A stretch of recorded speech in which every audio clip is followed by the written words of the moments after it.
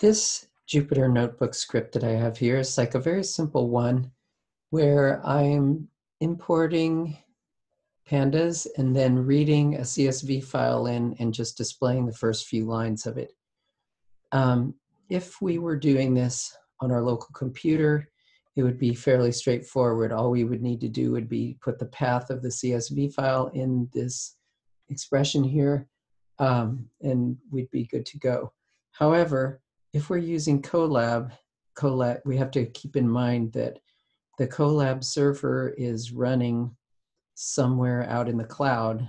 We really don't even have any idea where that is, and there's not really any way to find out. So it's not possible for this script to be um, reading files that are on our local computer because it's not running on our local computer. So what we need to do is actually connect this to a folder on our Google Drive. Then we are able to put files in the Google Drive folder and open them up in Colab. So the first step that I'm going to do here is to go to my Google Drive and I'm going to create a new folder. And I'm just going to call it data. Okay, so here's my new folder called data. And then in this, uh, I'm going to uh, upload a file.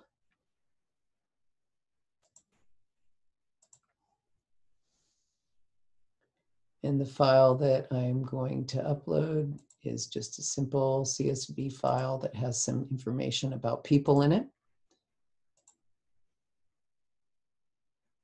All right, so it's uploaded the file. We're ready to go on to the next step. So if I go back to my Colab notebook, notice that over on the left side, there's a little file folder icon. I'm gonna click on this and um, it is, uh, after a moment of sort of refreshing the screen here, I can see that I have an option to mount a Google Drive.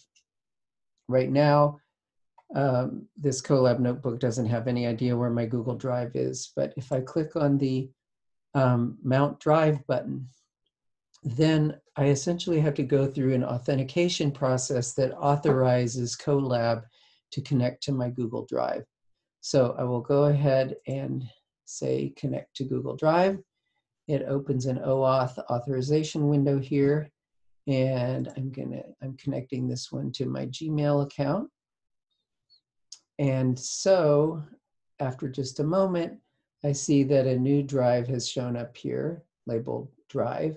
If I expand this out, I see that this mapped drive is actually referencing my Google Drive. And if I open that up, I can see the same two folders here that I had in my Google Drive, the uh, Colab notebooks folder and the data folder. So I'm definitely in the right place. I'm, and if I expand out the data folder, here's the file that I want to open. Now, the uh, in order to get the correct path to put in this path expression, I can right click on the file that I want to load and select copy path. And then I can just go in here and say uh, paste in the path. So we can see that the, um, the path expression that's here represents the file structure here um, from drive on down. So the first one, which is content, is sort of the highest level, but from there on we see drive, and then my drive, and then data, and then the file itself. So if we had, if we wanted to read from a number of files, we could just set the string to be the, the actual path to the data folder, and then we could um, have the user input the value of this file, uh, uh, the name of the file, or we could just uh, add that by concatenating it to the path string. So now if I go ahead and, uh, and run the script, so import pandas, then um, set the path and have it read the file.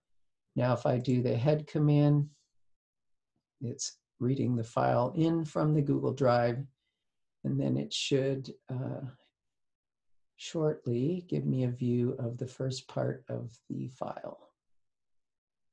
there it is.